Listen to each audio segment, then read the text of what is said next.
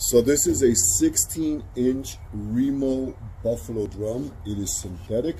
16 inch means that it is uh, it's vegetarian. It's not made by a natural buffalo hide. Drums come in various hides.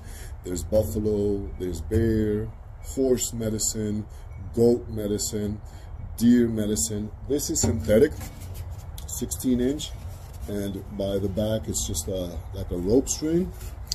And so I'm gonna play it right now so you can hear what it sounds like. Very beautiful. This is supposed to imitate a buffalo drum. And I've talked about these before. Okay, let's give this a try out. Call in the wind.